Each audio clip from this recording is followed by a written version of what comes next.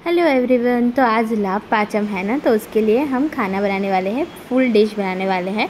तो यहाँ पे सबसे पहले हमने दूध लिया है, करीब एक लीटर जितना दूध लिया है, और उसके अंदर अब हम ऐड कर रहे हैं शक्कर। तो ये हम बनाने वाले हैं दूध पाक तो इसकी जो थोड़ी सी रेसिपी है ना, वो थोड़ी सी अलग है, वो खीर जैसा नहीं है। यहाँ पे हमने आटा गूँथ लिया है पूड़ियाँ बनाने के लिए, और उसको हमें ढक के थोड़ी देर के लिए रेस्ट दे देना है। और ये जो दूध है ना, अब इसको हमने थोड़ा गर्म कर लिया है। फिर गर्म होने के बाद इसके अंदर हम ऐड करेंगे वन टीस्पून जितना इसके अंदर इलायची, जायफल और केसर का पाउडर है ना, वो ऐड कर रही है यहाँ पे। दो टीस्पून ऐड कर दीजिएगा। और साथ ही इसके अंदर हम पाक ऐड कर रहे हैं। तो पाक के में क्या होता है कि ड्राई फ्रूट्स होते हैं बहुत सारे। दो कटोरियाँ भर के हमने इसके अंदर ड्राई फ्रूट्स ऐड किए तो दूध पाक का मेन मीनिंग ही यही होता है कि दूध के अंदर हम जो ड्राई फ्रूट्स ऐड करते हैं, उसे हम पाक बुलाते हैं। तो ये दूध पाक हमारा हम गर्म होने के लिए रख देंगे। केसर की वजह से ना इसका कलर बहुत ही अच्छा आया है, आप देख सकते हैं। अब इसे हमें उबालना है तो जब तक इसके अंदर एक दो उबालने आ जाते ना, तब तक हमें इसे गर्म करते जाना है। तो ये देखिए, इस तरह से थोड़ा सा ये उबलने लगा है। अभी थोड़ा सा और गाढ़ा करना है हमें। और थोड़ा सा कम भी हो जाएगा दूध तब तक हमें इसे पकाना है। और अब क्या करेंगे? सब्ज़ी बनानी है। तो आलू की सब्ज़ी बनाएँगे, रसे वाले आलू। तो यहाँ पे हमने तीन आलू लिए हैं और उन्हें अब कट करना है। तो कट करते वक्त ये ध्यान रखिएगा कि इसे मोटा मोटा कट करेंगे, क्योंकि ये जो सब्ज़ी होती है ना, उसमें आलू मोटे मोटे होना तो बहुत ही अच्छी लगती है।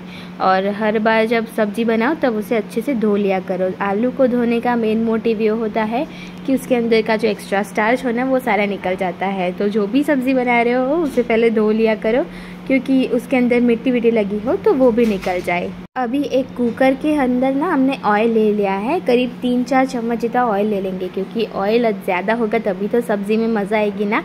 तो ऑयल के अंदर अब हम राई डाल देंगे और थोड़ा सा जीरा डाल देना है। अब ये दोनों को अच्छे से चटक जाए ना, उसके बाद हम हींग डाल देंगे। हींग से क्या होता है ना कि पेट में दर्द वर्द नहीं होता है, खाना एकदम कच्चा भी लगे ना, थोड़ा तो भी उससे दर्द नहीं होता है पेट में। अब इसके अंदर हमने थोड़ा सा एकदम थोड़ा सा ऐड किया है अचार मसाला।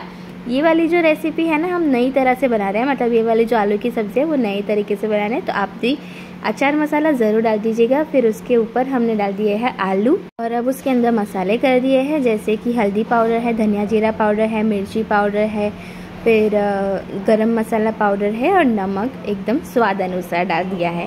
अब इन सबको अच्छे से मिक्स कर देना है। अब बना रहे हैं हम लोग रसे वाले आलू तो रसा तो इसके अंदर ज़्यादा जाएगा, यानी कि पानी ज़्यादा डाल दीजिएगा, क्योंकि आलू जो है ना वो कच्चे भी है तो उसे पकने के लिए भी तो हमें डालना पड़ेगा ना थोड़ा सा पानी, जिससे कि वो अच्छे से पक जाए, थोड़े से बॉईल हो जाए अंदर सब्ज़ी में ही। तो ये देखिए हमारा दूध जो है, दूध पाक, वो भी बन रहा है।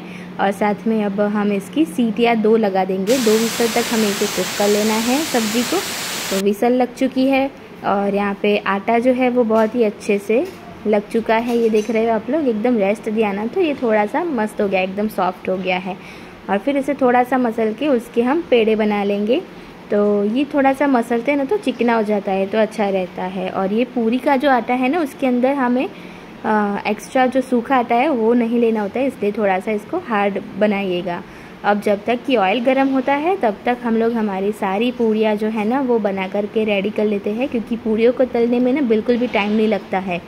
बस अंदर ऑयल के अंदर डाला, एक साइड से फूली, दूसरी तरफ़ पलट दी, और बस बन गई हमारी पूड़ियाँ तो बस इतना ही टाइम लगता है। ऑयल गर्म हो चुका है। अब उसके अंदर हमने पूड़ियाँ डाल दी है तो हम एक एक करके पूड़ियाँ रेडी करते हैं क्योंकि एक साथ दोनों, जब दोनों फूल जाती है ना तो दोनों को साथ में निकालना पड़ता है। इससे अच्छा एक एक करके ही फ्राई करेंगे। तो ये देखिए, अच्छे से फूली फूली सी हमारी पूड़ियाँ जो है वो रेडी हो चुकी है। और अगर आपकी पूड़ियाँ ना सारी साइड से इवनली बेली हुई होगी ना तो वो फूलेगी, वरना फिर एक साइड से मोटी और एक साइड से पतली रह गई तो फिर वो नहीं फूल पाएगी। फिर कई लोग पूछते हैं कि हमारी पूड़ियाँ क्यों नहीं फूलती है? पर आप लोग इवनली बेलोगे तो फूलेगी, सब्ज़ी रेडी है, दूध पाक रेडी है और पूड़ियाँ भी रेडी है। सर्व भी कर लिया है, आप लोग ट्राई ज़रूर कीजिएगा सब्सक्राइब कर दीजिएगा और बने रहिएगा हमारे साथ। और कमेंट करके बताइएगा अगली रेसिपी कौन सी चाहिए इंस्टाग्राम और फेसबुक पे भी फॉलो कर दीजिएगा। सी यू